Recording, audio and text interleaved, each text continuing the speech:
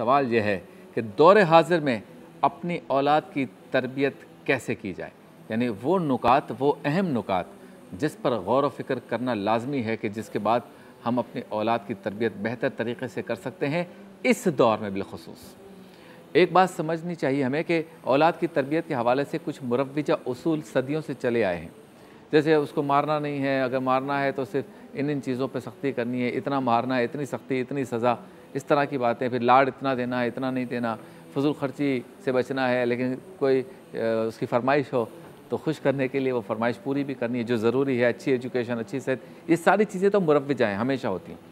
देखिए, दौर हाजिर में औलाद की तरबियत के लिए जो मैंने महसूस किया, आप मेरी रहनुमाई भी कीजिए कि कुछ चीज़ें जो है ना, वो बहुत ज़्यादा गौर तलब है। मिसाल के तौर पर इस दौर में औलाद की तरबियत करते वक्त इस बात का हमने ख्याल रखना है कि उसकी लैंग्वेज ख़राब ना हो। हमारी तरबियत ऐसी हो कि बेहतर लैंग्वेज हो उसकी।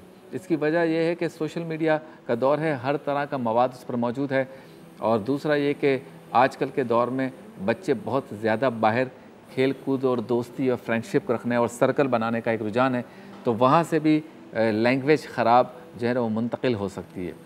तो तरबियत के लिए आज के दौर में आपके बच्चे की गुफ्तु पर आपको गौर करना होगा कि उसमें अबे तबे ना हो, उसमें गालम गलोच ना हो, उसमें झूठी कस्में ना हो, उसमें बच्चों पर शफ़क़त के बरखिलाफ़ कोई हरकत ना हो, बड़ों पर या बड़ों से बात करते वक्त एहतराम के बरखिलाफ़ कोई बात ना हो। तो ये लैंग्वेज और अखलाक का जो मामला है, वो आज के दौर में बहुत ज़रूरी दूसरा, टाइम मैनेजमेंट, चूँकि बिज़ी हो गए हम सारे। तो बच्चे की भी हमें तरबियत करते वक्त टाइम मैनेजमेंट का ख्याल रखना पड़ेगा। उसके होमवर्क करने का एक टाइम हो स्कूल जाने का एक टाइम हो, कारी साहब अगर कुरान पढ़ाने आते हैं या ये कहीं जाता है तो उसका एक टाइम हो, आराम का एक टाइम हो।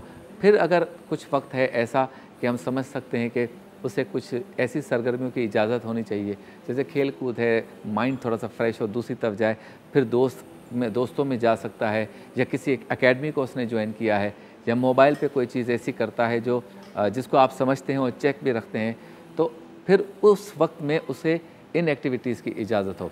तो टाइम मैनेजमेंट बच्चों की बहुत ज़रूरी है आज के दौर में, क्योंकि हम सारे मसरूफ़ हैं, माँ बाप भी मसरूफ़ होते हैं, दीगर बहन भाई भी मसरूफ़ होते हैं सब के सब अपनी मसरूफियात की वजह से ऐसा होता है कि कभी कभी वक्त नहीं दे सकते। तो इस बात का ख्याल रखना है कि मौजूदा दौर में बच्चों के लिए टाइम मैनेजमेंट भी हमें बनानी है। अच्छा आज के दौर में एक अहम बात जिसका ख्याल रखना है, वो है बच्चों को सोशल मीडिया की तरफ़ एक्सेस कितना दिया जाए, ये तरबियत के लिए बहुत ज़रूरी है। क्योंकि बाज़ अवत हम बच्चों को एक्सेस देते हैं किसी एजुकेशन के लिए, उसे मोबाइल दिला देते हैं, लैपटॉप दिला देते हैं, टैब दिला देते हैं कि भाई वो अपने एजुकेशन का भी कोई मामला करे। लेकिन जब हम दूर होते हैं, हमारी निगाह थोड़ी हट, हटती है, नज़र हटती है तो वो दीगर साइट्स पर या दीगर चीज़ों पर चला जाता है। तो ये चेक रखना है हमने कि गेम्स और अननेसेसरी साइट्स उल्टी सीधी जो है वो कन्वर्जेशन और चैटिंग्स और इसमें अपना वक्त ज़ाया ना करें। सोशल मीडिया पर जब आप उसको एक्सेस देते हैं तो ज़रूरी है कि हम शेयर की निगाह रखें।